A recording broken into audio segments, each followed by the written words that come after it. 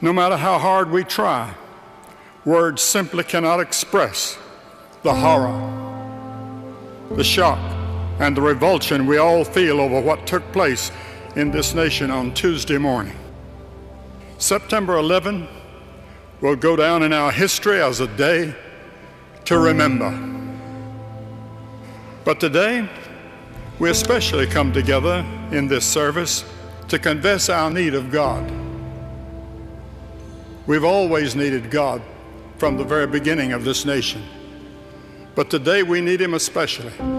We've seen so much on our television, on our, heard on our radio, stories that bring tears to our eyes and make us all feel a sense of anger. But God can be trusted, even when life seems at its darkest.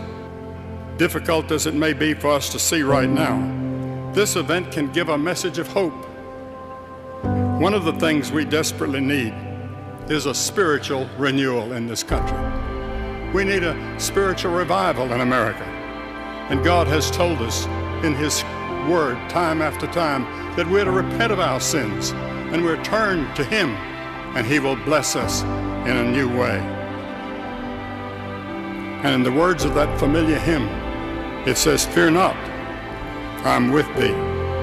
Oh, be not dismayed, for I am thy God, and will give thee aid. I'll strengthen thee, help thee, and cause thee to stand upon my righteous, omnipotent hand. My prayer today is that we will feel the loving arms of God wrapped around us and will know in our hearts that He will never forsake us as we trust in Him.